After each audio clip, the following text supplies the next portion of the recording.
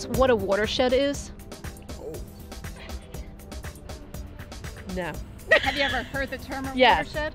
A watershed? A watershed. I've heard of this before, but I don't remember what it means.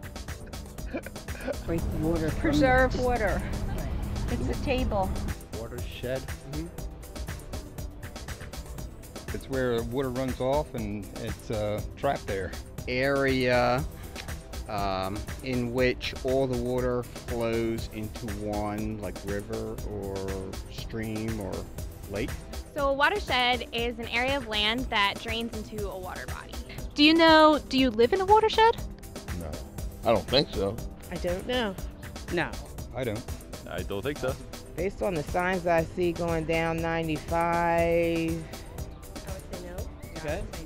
Say no. Trying not to remember what the sign says after you pass the toll going into Maryland. I don't know. I don't think so. I'm not sure.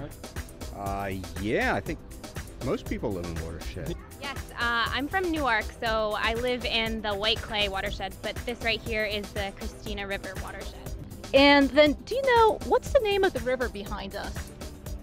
Christiana. That would be a guess too. The Delaware? The Christiana Or River. Christiana? Delaware River. Christina River, named after the Queen of Sweden, not the Christiana River. The uh, Christina River. Uh, the Christina River. Christina. Christina River. Of course, it's the Christina River. Awesome. Those are the only three questions we had. You did a great job. That was a great job.